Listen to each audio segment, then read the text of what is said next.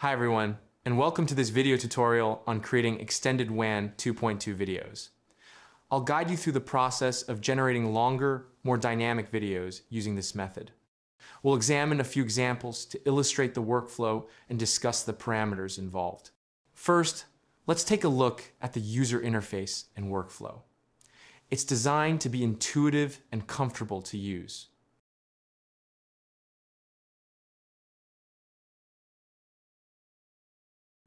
We'll begin with an initial image, which serves as the foundation for our video. This image provides the visual basis for the AI to generate the animation. Next, we'll craft a text prompt that describes the desired action or scene. For instance, in our first example, the prompt instructs the AI to create a cinematic, realistic zoom out effect while the subject rotates. The prompt should be detailed and specific, including elements like camera movement and overall mood. In this case, the prompt specifies front of the mirror inside, indicating the setting, and includes instructions like zoom out slowly. Cinematic realistic zooms out and rolls around to guide the animation style. Now, let's delve into the settings. We're using the 12 shift and UniPC sampler with six steps. This combination, along with the LiteX LoRa model, is chosen for its efficiency and quality. We've also implemented a high noise and low noise pass twice to refine the final output. The resulting video is approximately 25 seconds long, demonstrating the potential for creating longer videos with this technique. We can even extend the duration up to 30 seconds. The output video exhibits impressive realism and detail. Notice how the subject interacts with the environment, placing her iPhone on the side and performing a dance. Even small details, like the movement of her handbag, contribute to the overall realism. Moving on to our second example, we'll use a different image and prompt. This video will be around 20 seconds long, consisting of 21 frames. The prompt here is wide, short, followed by a description of the action.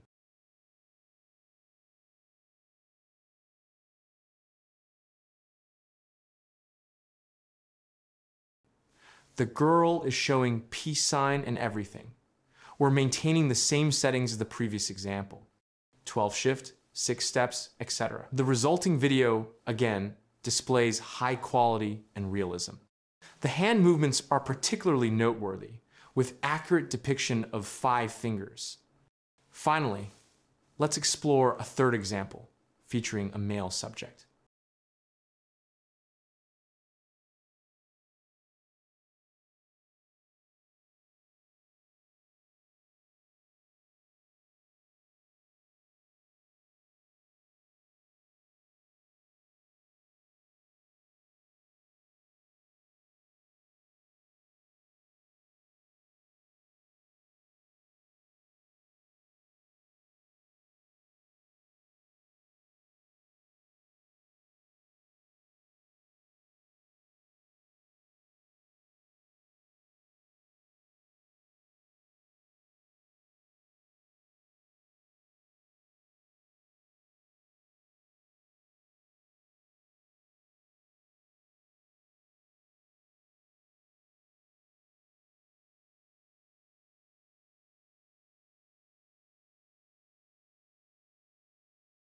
This highlights the importance of refining prompts and experimenting with different settings to achieve the desired outcome.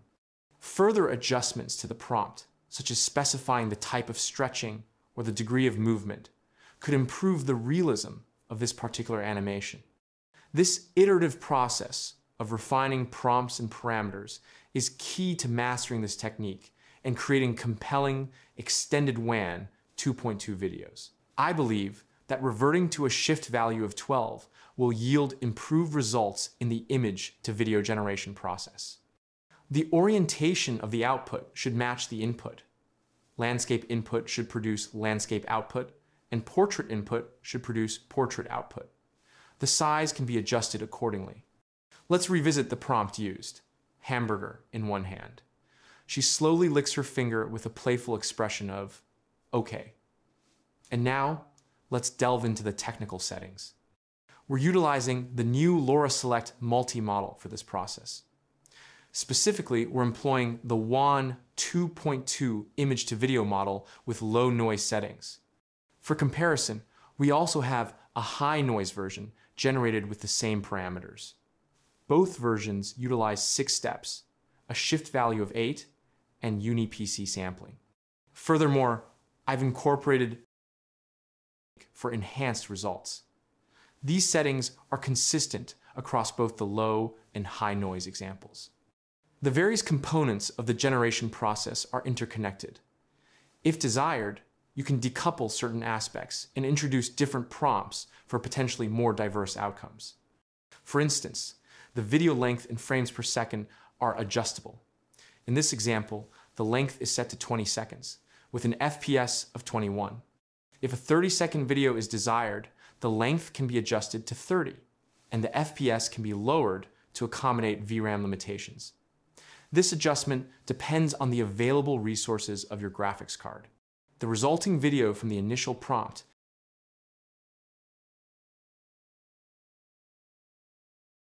displays the subject licking her finger excessively. This is a direct consequence of the prompt focusing solely on the licking action. To achieve a more varied sequence of actions, the prompt needs to be expanded to include other activities. This will prevent the repetitive licking motion throughout the 20 second duration. This particular generation was performed on an RTX 4090 GPU, and the entire process, including all generations, took approximately 8 to 10 minutes. The output video is 19 seconds long, slightly shorter than the specified 20 seconds. Now, let's explore another example. I maintain that a shift value of 12 is the optimal choice for this process.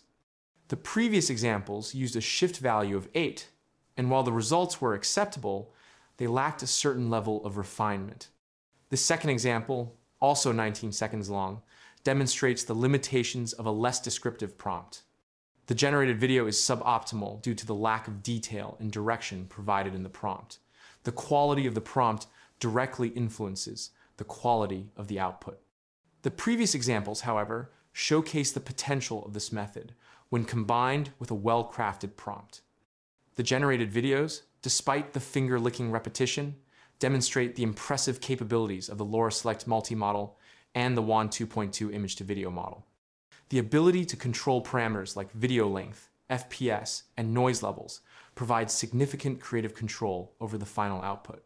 Further experimentation with different prompts and settings is encouraged to fully explore the potential of this powerful image to video generation technique. If you found this video informative and helpful, please consider liking, commenting, and subscribing to my channel. Your support is greatly appreciated. Thank you for watching.